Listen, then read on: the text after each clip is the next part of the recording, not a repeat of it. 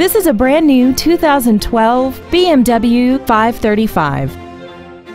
This car has an automatic transmission and a 3.0-liter inline six-cylinder engine. All of the following features are included. The premium package, a rear view camera, high-intensity headlights, a leather-wrapped steering wheel, traction control, brake assistance technology, side impact airbags, steering wheel memory settings, and the heated seats can warm you up in seconds, keeping you and your passengers comfortable the whole trip.